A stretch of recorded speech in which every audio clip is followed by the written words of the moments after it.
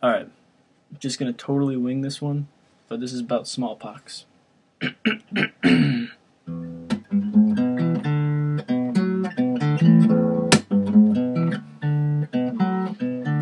there is a thing called smallpox, it really sucks.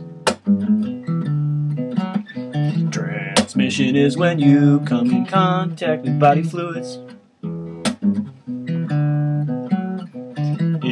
Is found in Europe, Americas, Asia, and little Africa.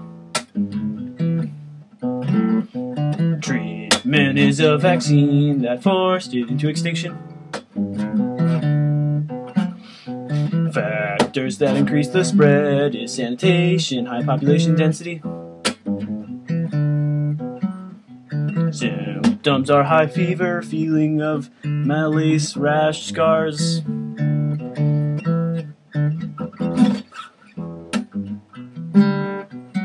I mm-hmm. just I can't do it, but you know, you get the you get the gist.